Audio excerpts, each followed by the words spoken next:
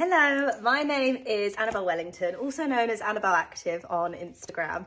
I am 27 years old and I'm a qualified level 2 fitness instructor and level 3 personal trainer. I for the last 9 years of my life I have been working in London in an office job as a personal assistant and last year I decided to take the plunge and have a big career change after thinking about it for far too much time. Um, so I signed up to Premier Global and I did my level two and level three personal training qualifications and completed those in October last year. Um, a little bit of my kind of background, my fitness journey and everything. I, growing up, I was always quite fit and healthy. I was always very active. I did a lot of ballet and dance. That was kind of my thing. And then I guess like a lot of people, when you leave school, you leave university or college, you kind of if you're not playing in team sports or you know going to dance classes a lot of people that those hobbies kind of fade away. And i moved to london. I got stuck in in the london life. I got introduced to gin and tonics. I loved going for after work drinks. I met some lovely friends. I had a great social life. And i think my fitness just kind of took a back seat. And I didn't not enjoy it. I would still, you know, go on a run if I fancied it, but I wasn't consistent. And I was getting frustrated that I wasn't looking a certain way. I've realised now that it's obviously not about how you look, it's about how you feel in yourself. But for me, I was spending, you know, on social media these days, there's just so much going around, so much information, people posting pictures of them in bikinis. And I think I became completely consumed, like I think a lot of girls, you know, in, in their early 20s are, um, completely consumed by not looking a certain way. And I was unhappy and unconfident with my appearance. But it wasn't just because I wasn't exercising, it was everything I was doing with it. It was my lifestyle and my habits and the choices I was making.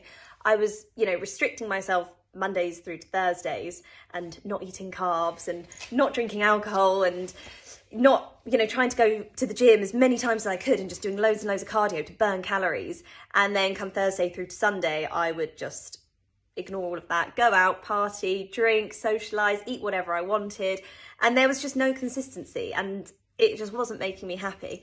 So after a few years of kind of, I think the older I got actually, I'd read more online and I kind of understood that you had to be consistent. And come last year, obviously, we went into a lockdown and I was furloughed from my job. So I was no longer traveling into London. And I suddenly had all this time on my hands. So I was, you know, writing home workout programs for myself and my friends. And then it suddenly hit me that I'd thought about doing my personal training qualification for all these years, and now I had all the time in the world to actually crack on and do it. So that was when I signed up to Premier Global, and it was the best choice I've ever made, and the best money I've ever spent on myself, and the best investment. Um, and it was brilliant. We had all the online webinars. My tutor was so helpful. He was there to help me because I was a little apprehensive as you know, at school I was wasn't great at exams. I was never one to kind of sit down and revise. So I knew that this was my one shot to work really hard. And, you know, I proved myself wrong and I managed to completely smash it and qualified in October last year, which was when I then also set up my Instagram page. And again, doing that was the best thing I ever did. You know, through Instagram, I've continued to learn so much. There are so many inspiring and amazing accounts and people out there and I've met so many people some people I would honestly call friends.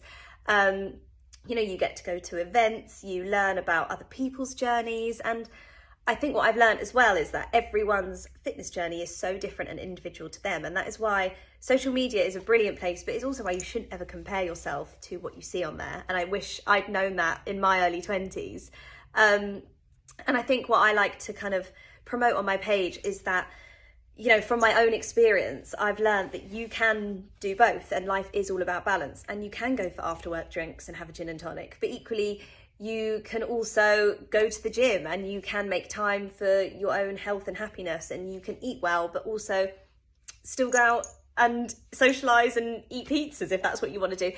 I just basically have learned that, you know, everything in moderation, consistency is key and that's what I want to promote on my page and if I can help at least one other person and help them not be in the position that I was in in my early 20s where I was just clueless and reading all these fad diets and you know ab workouts that are going to get you a six pack in a week and things like that then I feel like then that's what I that's all I want to achieve really.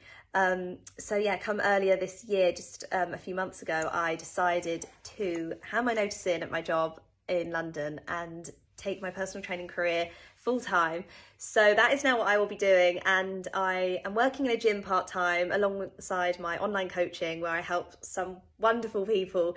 And yeah, it's the best decision I think I've ever made, and I'm so excited for everything to come with it and to continue learning. I've signed up to two more qualifications through Premier Global. I'll be doing my spin instructor training and also my pre and postnatal training. So I'm so looking forward to you know, expanding my knowledge further and being able to help even more people. Um, yeah, so very exciting times ahead.